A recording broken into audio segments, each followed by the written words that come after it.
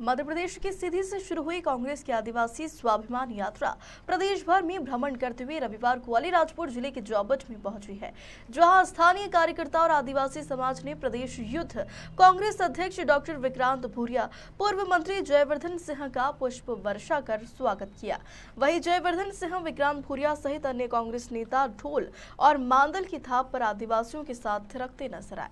Media से चर्चा करते हुए पूर्व मंत्री जयवर्धन सिंह और डॉक्टर विक्रांत भूरिया प्रदेश की भाजपा सरकार पर बरसते नज़र आए हैं और कई गंभीर आरोप भी लगाए।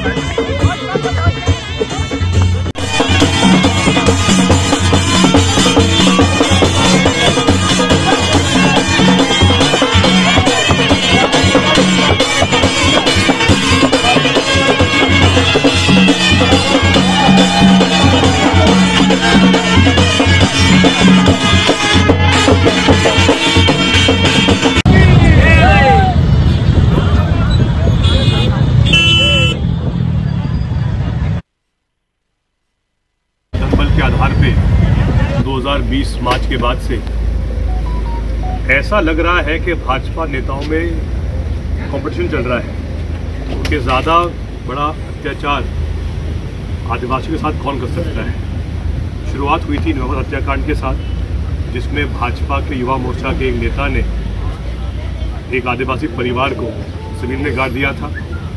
उसके बाद सीधी कांड में जो दृश्य सामने सामने आया था आ, वो पूरे देश ने देखा है, पूरे विश्व ने देखा है।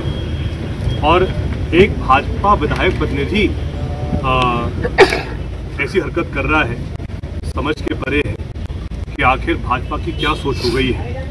और उसके बाद हमने तीन दिन पहले ही देखा, जहाँ सिंगरौली के विधायक के पुत्र ने भी एक आदिवासी पर एक गोली मारी। और इसी के संबंध में कांग्रेस पार्टी ने तय किया था कि हमारे युवा कांग्रेस के अध्यक्ष और आदिवासी नेता विक्रांत भूरिया जी और हमारे आदिवासी प्रकोष्ठ के अध्यक्ष रामू टेकाम जी ने आदिवासी की आवाज़ को बुलंद करने के लिए सीधी से आदिवासी स्वाभिमान यात्रा प्रारंभ की थी। उसमें हमारी महिला नेत्री भी शामिल है, चंदा जी और भी अनेक हमारे आदिवासी नेता पूरे मध्य प्रदेश के जिन्होंने लगातार 19 दिन सीधी से लेकर जो शुरुआत की थी, आज यही यात्रा जोबट पहुँची है।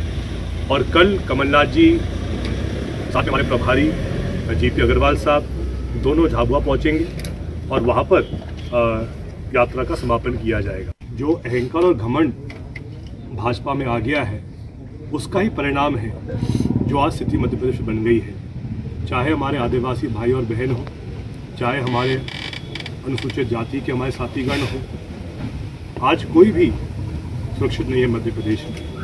कहीं ना कहीं भाजपा के नेताओं में जो एक सत्ता का नशा उनके सिर पे चढ़ गया है, उसका ही परिणाम है कि ऐसे हादसे मध्य प्रदेश में हुए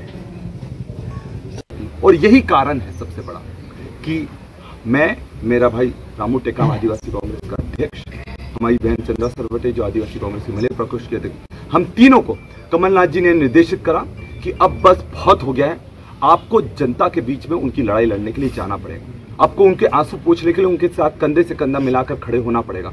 और हम पिछले 19 जुलाई से लगातार निकले हैं। आज हम चौबट में हैं और यहाँ से हम कल झाबुआ जाएँगे, जहाँ इसका एक भव्य समापन होगा जिसमें कमलनाथ जी और सारे वरिष्ठ नेतृत्व वहाँ मौजूद रहेंगे। और उद्देश्य है कि आदिवासियों के स्वाभिमान की लड़ाई पूरी ताकत से लड़ें।